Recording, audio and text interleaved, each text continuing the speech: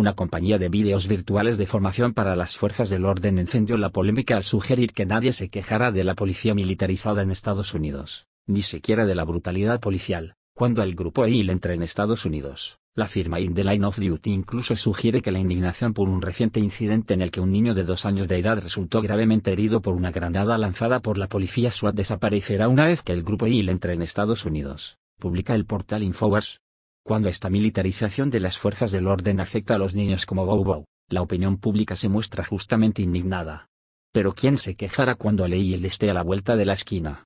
afirma un mensaje de la compañía publicado en su página de Facebook que hace referencia a un artículo del diario The Guardian que trata sobre la cada vez mayor militarización de algunos departamentos de policía en Estados Unidos, el Estado Islámico de Irak y el Levante. EIL, es un grupo insurgente apoyado en parte por la ayuda de la administración de Obama destinada a los yihadistas radicales en Siria, que recientemente tomó el control de las principales ciudades de Irak y fue acusado de cometer una serie de atrocidades y asesinatos en masa. Bow es una referencia a la víctima de un reciente incidente durante el cual un miembro del equipo SWAT lanzó una granada aturdidora en la cuna de un niño mientras realizaba una incursión armada en una casa a las afueras de Atlanta. Bow fue un Saban, de dos años de edad, resultó gravemente herido a causa de la explosión de la granada y permanece en estado crítico.